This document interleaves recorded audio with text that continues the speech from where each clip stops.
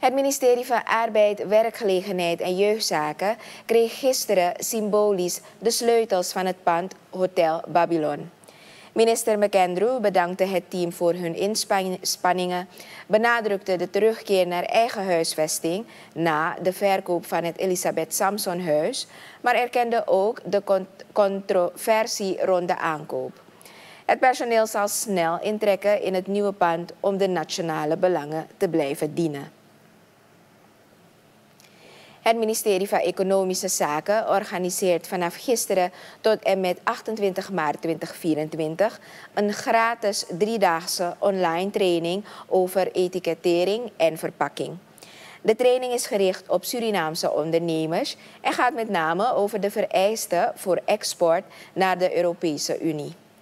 Na de training ontvangen deelnemers een certificaat en krijgen ze ondersteuning via coaching. Onderdirecteur Sarita Jageswar benadrukt het belang van juiste etikettering en verpakking voor kwaliteit, veiligheid en regelgeving van exportmarkten.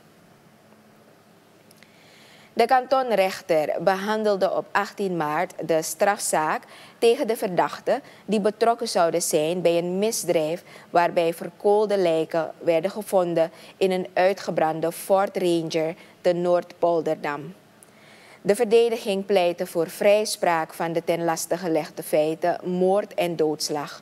Op 20 mei 2024 zal de kantonrechter uitspraak doen in deze zaak.